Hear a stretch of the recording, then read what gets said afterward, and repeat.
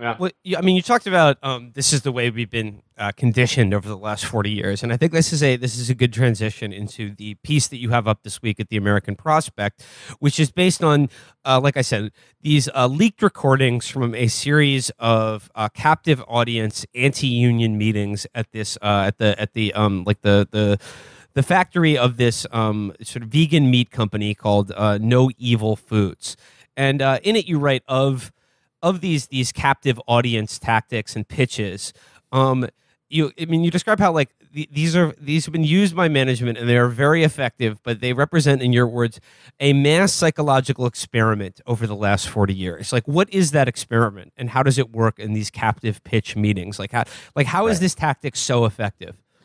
Yeah they, they've really honed it. I mean th- this is uh, something that has taken decades. There was a book that came out called in Confessions of an uh, Confessions of a Union Buster uh, that came out, I think, in the 90s and was talking about these tactics, and they have just continued from there.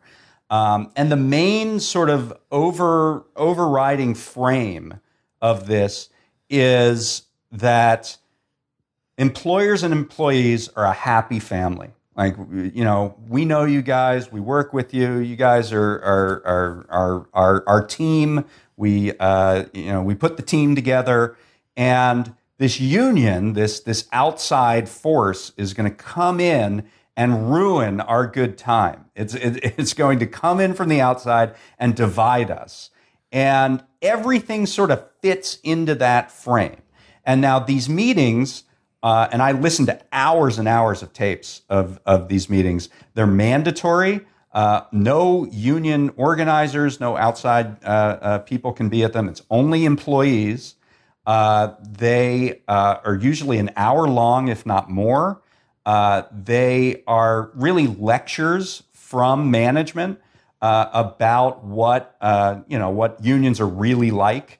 Um, and uh, they are, are, it's a very honed presentation uh, that, that tells you over and over again that uh, the union would disrupt this relationship that you have.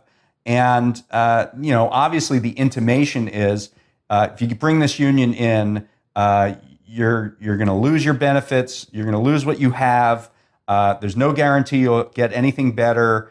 Uh, you, you, we could lose the company, uh, and and and it would just be a very divisive situation. And almost the practice of this these meetings, the fact that you're you're you're pushed into this space.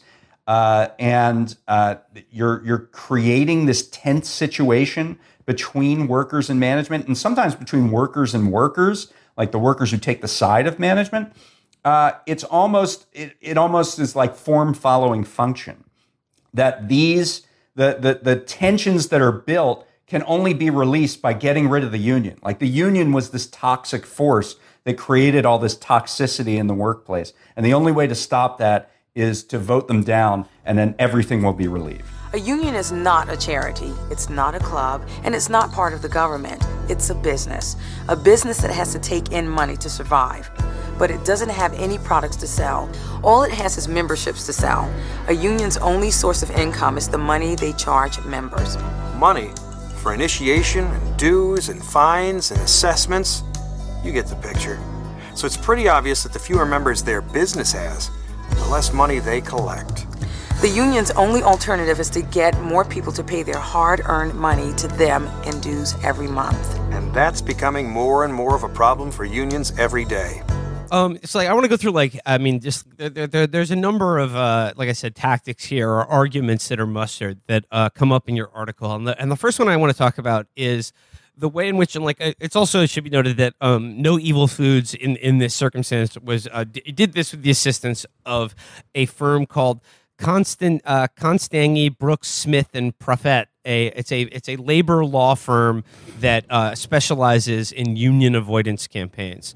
Yes. Um, and, and like, one of so my like, favorite anecdotes of that is that one of the lawyers from Constangy on the day of the election was walking around this vegan meat facility with a leather handbag. like a like a Louis Vuitton handbag, touting um, uh, how how great it was that they well, busted the union. I mean, an example a, of uh, that's doing evil according to the uh, management's uh, principles here. But right. um, uh, the, the, the first one that I noticed is the way in which at these meetings, um, you, ha- you they they depict unions as sort of corrupt, greedy businesses, and in effect. Right. They, t- I, I think it's so it's it's so brilliant. I mean, it's evil, but it's brilliant because it, in effect, it takes what people already know or suspect about their bosses and corporations in general, and they just say unions are that. Unions right. are big business, and here's the high salaries of the of you know what the, the head of the union makes a year. Um, you know, here are all their generous generous benefits and perks. Oh, here's a party they threw at a, a, hotel in Las Vegas. Oh, they're playing golf on the weekends. It's like like that, that's where your money, that's where your dues are going. To these these greedy, um, corrupt union leaders. But like it's right. like I said, it's brilliant because people already suspect that about you know like you know everyone involved in business. But it's just like this right. it's this projection where you go, oh no, it's it's the union.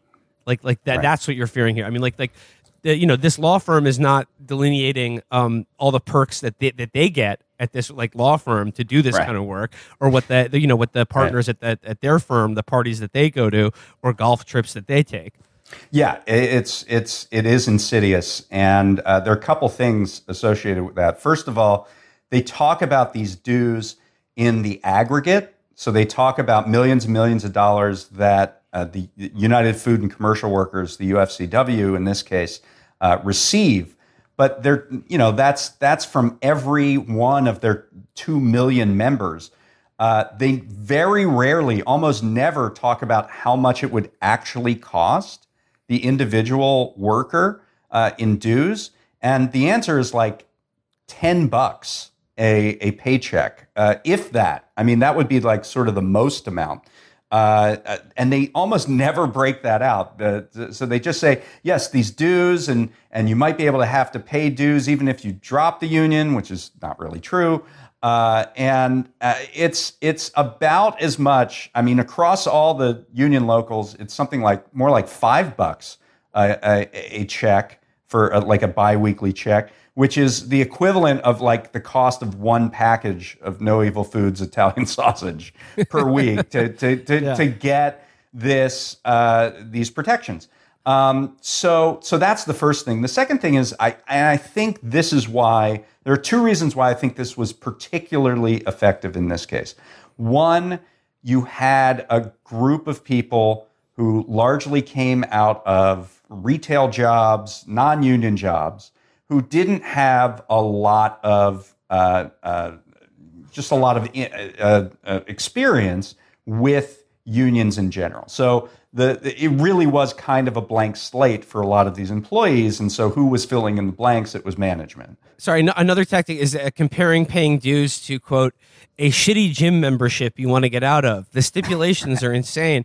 And also, like, um, uh, you know, uh, underneath all this is that, that this, the, the, the factory, the shop that they were attempting to be uh, organized is in North Carolina, which is a right to work state, which means that you can get out of paying dues like at any time, right? Right. That's absolutely right. And, and uh, I, I, think that plays into it as well. The fact that it was in the Southeast, in a state that doesn't have a, a, a, heavy union membership, there, there really isn't anything to point to if you're a worker to, to be like, well, what is a union really like? So, so management gets to fill in those blanks.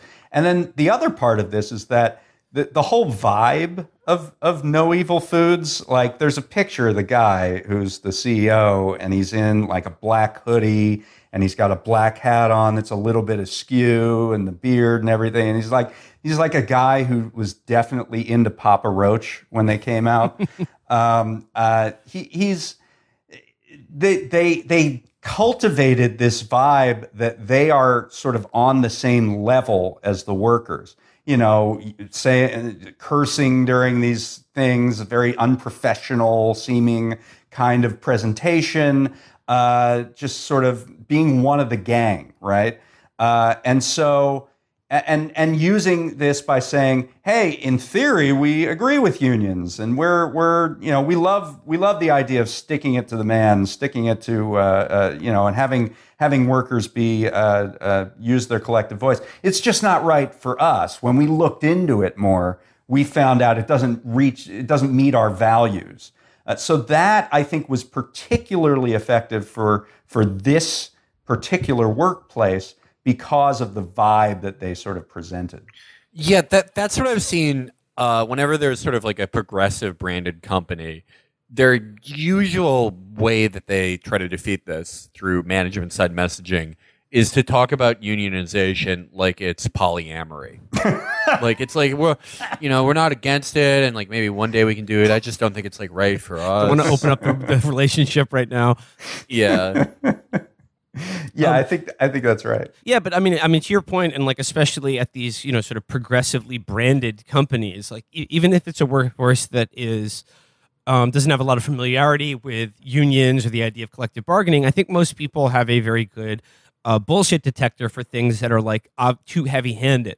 And as you said, like a, a, a very uh, like they're they're very careful to just be like, okay, like first things I just want to make clear we are not engaging in anti-union propaganda right now, and they just right. make it seem like it's we're having a conversation here. And I, there's another quote from the piece, um, just like along the lines of this idea that um, the company is a family. You know, right. um, it says, "I don't want to sit across the table from from you. I want you all to sit next to me." I don't want your individual voices to be silenced. And it's just like, so it's right. about, yes, once again, it's about individual voices and expression and this idea yes. that like there is no labor, there is no labor in management. There is no table of which two sides are sitting across to negotiate. You're all sitting next to each other. And it it's completely subverts the whole idea of, of a union as being the reflection of this collective voice where the workers figure out what it is they want out of the relationship and then they go to management. Uh, it's very much seen as here, there's some bureaucrat, some fat cat sitting off uh, somewhere else in the state, and they come in and they dictate what they're going to want uh, out of out of No Evil Foods, as if there would be no input from the workers into the union's demands. I mean, it, it's really very subversive the way that they they they they put it together, and uh, and and you know that that's that's an interesting part of this this whole thing. But I, I think the more insidious part is, and and this was largely reflected in the guy's final speech. Uh, Mike Woliansky is the CEO of No Evil Foods. Um, in his final speech, he essentially said that if you bring this union in, the investors are all going to pull out and there won't be a company anymore. And you're not allowed to say, I will shut down this company if you try to unionize. But they get around that by saying it wouldn't be their decision, it would be the decision of their investors. Uh, and they can't affect that decision in any way. Uh, similar to that is how they say that, you know, at the bargaining table, everything starts at zero. You know, once we go into bargaining, uh, anything that you have now, the vacation days we give you, the the healthcare benefits that we give you right now, uh, that could all go away. Uh, I can't tell you what's going to happen in in uh, a negotiation, which of course is is you know superficially true. You can't say that XYZ is going to happen as a result of unionization, but you probably have a much better shot if it's not just dictated by the, the management uh, and, and union, uh, the union has the ability to negotiate that. So uh, it, it, it, it, was just incredibly uh, disingenuous uh, kind of rendering of this. I mean, I mean, like in talking about this, like the, whether it's the no evil foods example specifically, or if you're talking about the the Amazon warehouse in in, in mm-hmm. Bessemer, I mean, I think people um, they underestimate, like you know, in like when you know getting excited about or like like hoping for some sort of union action in, in businesses like these they underestimate like just how much the deck is weighted in favor of management but i think they also yeah. overestimate the enthusiasm of individual workers for something like a union when the, the, the jobs that they do have are better than the average given the community. Like you mentioned that No Evil Foods is, uh, you know, they right. pay about thirteen fifty an hour, which is like for around for the area of Asheville, North Carolina, is like technically a living wage. And it seems like, you know, especially if you have by comparison what is like a pretty good job that has some benefits um, why it would be attractive to like why or why the message of like hey this company is a family. It's not. It's not. It's not like your. It's not like your. It's not, not like old business, or it's not like your mom and dad's company. Like this is different. Right. We're working together. We're trying to build something new here. Like oh, so, why risk that? And like you know, with going into these like older models, like I can understand. I understand why that is such an like a an appealing and like convincing message Yeah. to workers And think the- considering unionizing. However, I mean, but the, the, the problem is like the example of what happens when, like, for instance, in No Evil Foods, when COVID happens and then the company uh, has to tighten their belt. Right, right. I mean, I think the point there is that, you know, for a certain class of worker, they have just been led to believe that work is just an unendurable amount of suffering, that it's, it's just a terrible job. And so if you just give a little bit of daylight, uh, you're, you're going to make it look like this, this wondrous situation. And even, even if it isn't, and uh, the the idea that you could lose that becomes very powerful. Uh, the, the the whole idea that you can lose what you have, right? Um, but yes, uh, what what you give up in that exchange by saying yes, I have this little bit and I'm going to hang on to it and I'm not going to risk it by going into unionization. Yeah, I mean, uh, after COVID, uh, they they and and this this factory worked in very tight quarters. Uh, they they you know had no real opportunity to socially distance or anything like that, and so the workers were given uh, three choices, uh, the, and they had to make it within 24 hours. Uh, the first choice was if they wanted to quit, they could quit uh, with three weeks severance, but they would have to sign a non-disclosure agreement. They couldn't work in the food industry for another year.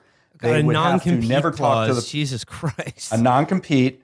They had to refrain from talking to the press, and they had to absolve the company of violations of labor laws, like the NLRA or the Family Medical Leave Act. They would have to just say, "We'll- we'll- "We won't charge you in, in any case for that." The second option was they could quit and not sign that NDA and get nothing, uh, no severance, and and then maybe when COVID ended, they could come back.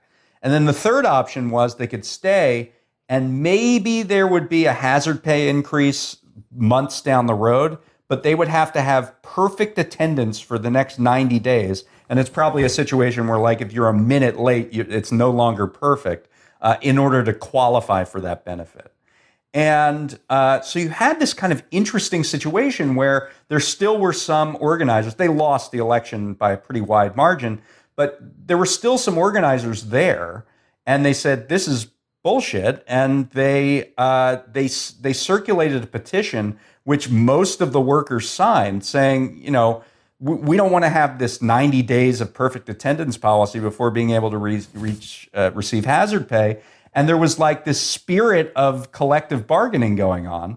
And No Evil Foods, for a minute, relented and said, okay, we'll give you a higher raise and we'll give it to you immediately. But what they did was they fired all the organizers who organized that petition.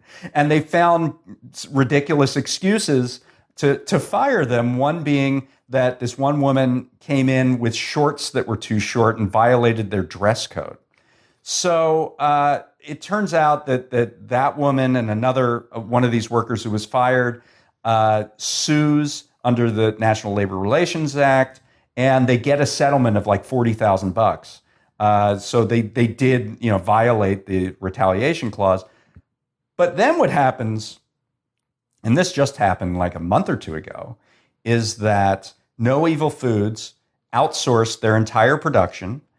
They fired all the workers, gave them no notice, uh, gave them got rid of their health care immediately, uh, uh, all their other benefits, and all they gave them was a flyer for a job fair uh, in in the Asheville, North Carolina area. So in a way, this was sort of the perfect example of uh, what you what you lose, what you give up when you don't have a union, because all of these things from from COVID on down, and this the election was right before COVID hit. It was like February 2020.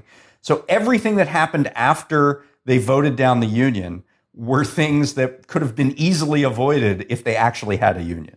Um, you, you mentioned one of the like the, the sort of pro union employees. Uh, it's a woman named uh, Megan Sullivan, and you give her an, like an example of her in these recordings as being one of the only people, um, like you know, individually taking it upon herself to sort of counter the uh, the the pitch that they were receiving, this propaganda message, which is a very difficult thing to do in a situation like that. And there's just a one part of the recording that you quote where um, uh, uh, Megan Sullivan asked Mick who's one of the guys giving these uh, presentations, says, um, speaking of like um, an, L- an NLRB claim against the union. So there were a bunch of cases where uh, the management would talk about uh, individuals suing or, or, or, filing a claim at the NLRB against uh, the union, against the UFCW.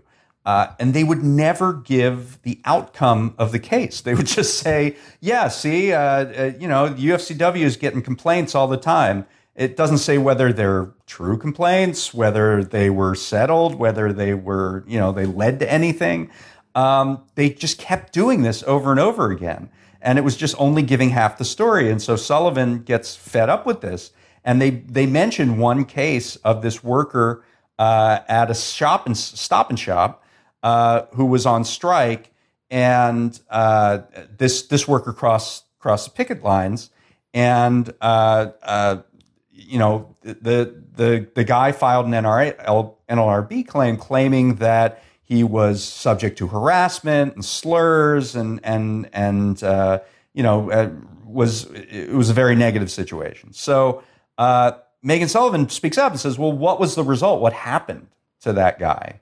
Uh, and McPeak goes. Uh, McPeak is the uh, vice president of engineering, uh, who was leading this discussion, and he says, uh, "I have, I don't have any idea. You can you can go to the website. You figure it out." And she says, "I did." And the guy got a settlement. He got all his dues paid back, and and they have posters on the workplace saying that you don't, you're able to cross a picket line, you won't lose your job as a result. And he goes, well if you knew the ruling, why won't why are you asking me any questions? And he goes, Well, you're not telling us what the answers are to to these these specific situations. So that just happened over and over and over again. And McPeak's reply uh, when she said, she says, "Why are you asking me the question?" He goes, "Because you're not telling us." And then McPeak replies to that, "Why are you being hostile? Why are you being hostile?" and you know, like this gets to like the uh, like the, the last kind of tactic I wanted to talk about that that that is on display here is is the depiction of that look yeah yeah unions they're, they're big business like they're, they're they're greedy but they're like they're old business they're bad this is the bad old way of doing things they're corrupt white men right. and sort of sexual harassers that will make you work alongside your uh, harasser or abusers in some cases, which I thought was a, a particularly interesting example, given that like there was no mention of what to do or what would happen if your abuse, abuser or harasser happens to be your boss or supervisor, and it's just like yeah. if you go against them, they'll come after you, and that like the union is that they're, they're, trying to organize it goes against our values of you know of being a yeah. vegan company. I, I thought that was interesting. Like, um, why are you being aggressive? Because it made me think of if you remember the uh, proto unionization efforts in the Amazon warehouse in Alabama, there was a similar thing. Not like directly calling him aggressive, but you know, once the once the facade of like this is a progressive company, we're going to hear everyone out. That even Amazon kind of does now. Uh, mm-hmm. It will. They'll use anything they can get, and especially I've noticed like if a guy driving a unionization effort is a black man, it will be like they'll just sort of immediately default to like this guy's scary and aggressive, which is kind of what Amazon did, and like it's like you know these places will use whatever they have, but yeah, I did I did find that pretty interesting here. There, there, there are two things going on that I think were interesting. One is there was no doubt in my mind that the management was trying to provoke those pro union voices to speak up in these meetings. And so that they would be depicted as irrational, as angry, uh, and that would sort of be reflected on to their campaign. Uh, and and I think that worked to an extent. Uh, that that they they created this this hostile situation. Uh, that's why he says, "Why are you being hostile?" Right? Uh, they created this situation to depict uh, the particular side of this vote as as you know uh, uh, not not reflective of, of, of good civil behavior. So uh, once again, it's like building this tension and blaming the union for it. And the only way the tension gets relieved is if you vote out the union. So that's number one. Number two, the, the, the, the remarkable lengths to which identity politics came into play in this, uh, I, I, I, thought was really, really interesting. And obviously, this is a bit specific to No Evil Foods, but um, you know, talking about old white guys at the top of the organization. By the way, I mean, you know, the CEO is a white guy of No Evil Foods, but yeah. um, uh, talk, talking about all these uh, incidents of, uh, you know, random sort of cherry picking incidents of sexual harassment, of anti LGBT comments. They were they were singled out, saying this is this is not what we stand for. Uh, uh, they they mentioned they mentioned over and over again those people from Tar Heel, uh, which uh, they're, they're talking about the union as people from Tar Heel. Tar Heel is a city in North Carolina that houses the largest pig processing plant in the world at Smithfield Foods. And that's a unionized plant. And they were actually kind of saying, like, I don't want to be part of a union that represents meat. Like, we're, we're a vegan company. And uh, there was even an intimation that the union would try to sabotage a vegan company to allow their meat processors to continue uh, and and and knock out the competition, which is absolutely insane. uh, if you think about it for two seconds, like uh, this, they, that that a union would work this hard to bring a company into the fold only to destroy it and sabotage it, it makes no sense at all. Um, uh, so, but there was just very much this effort to separate no evil foods in the union on identity politics grounds. Uh, and and it, I, at one point, Woliansky, the CEO, says it. He says, uh, I, I, I think these points are being made to draw a contrast between the culture we're trying to build at No Evil Foods and the culture that is built around unions. I mean, I guess just that, like the, to wrap things up here. I mean, you quote a former Teamster organizer in the piece, speaking of like uh, the the management playbook, and uh, he says quite simply, you have to create this miserable workplace, and then you provide the relief at the end. This is the psychological, physical, economic manipulation system, manipulative system, and that all the parts work together. I mean, so uh, to that end, to get back to like sort of what I asked at the beginning, yeah. like you know, you you you listen to these recordings, you you you hear the tactics, and you know they they seem ludicrous to us and probably most of the people li- listening, but it keeps working. I mean, the vote failed, and it failed by you know a significant yeah. margin.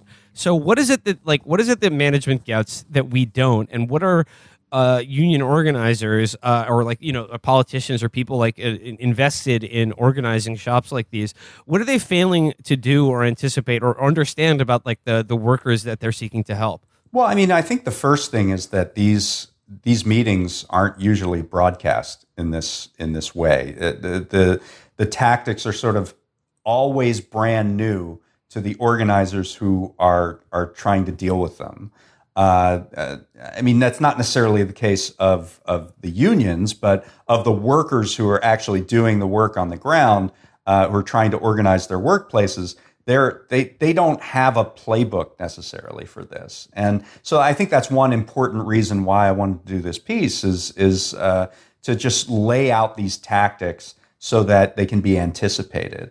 Uh, the second thing is, you know, I mean, we talked about this before. I think people just don't have a lot of experience with unions.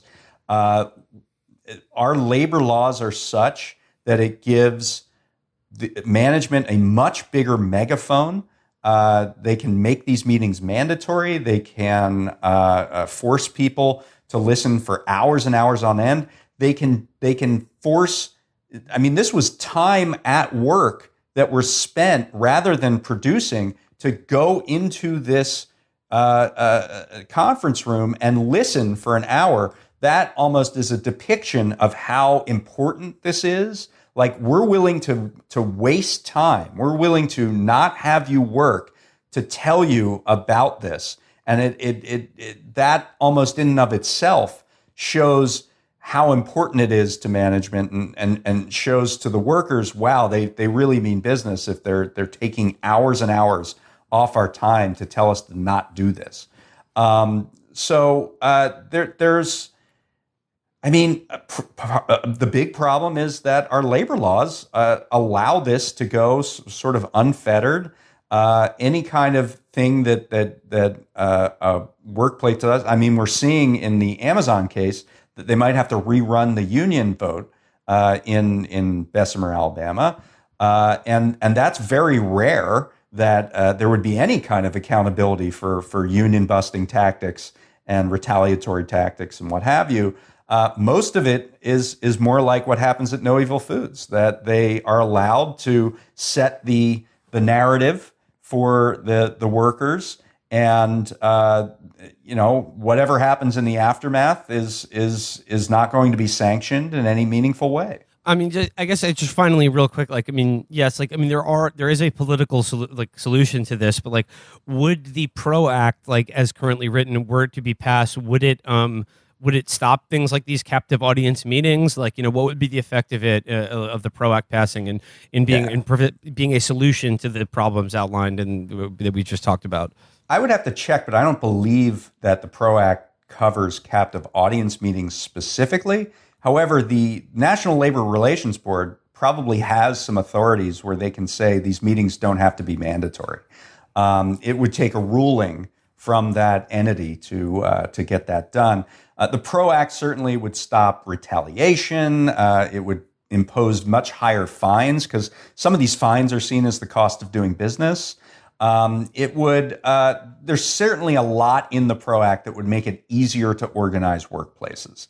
And that's essentially what we need because we have had since the Taft Hartley Act, uh, you know, what was that? That was uh, 70 years ago. And, and there hasn't really been a change in the trajectory uh, in labor law uh, that has improved the situation, basically, uh, from, from that point. So uh, the PRO Act would represent the first, kind of the first pushback in seven decades to this this idea of an ever devolving set of labor regulations. So it's definitely very important. I mean, I don't. Uh, there, there's talk that in this reconciliation bill around infrastructure that they're going to try to put parts of the PRO Act in there. I, I I'm fascinated to see how they're going to try to actually do that.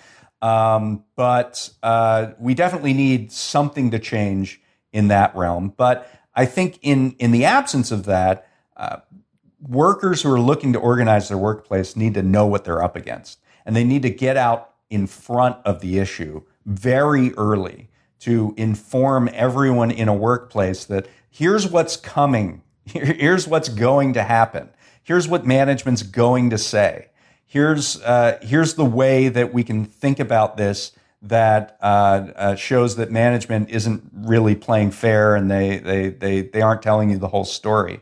Uh, I think credible and persistent communication is the answer, and and that's what we've seen in workplaces that have been organized over the last couple decades.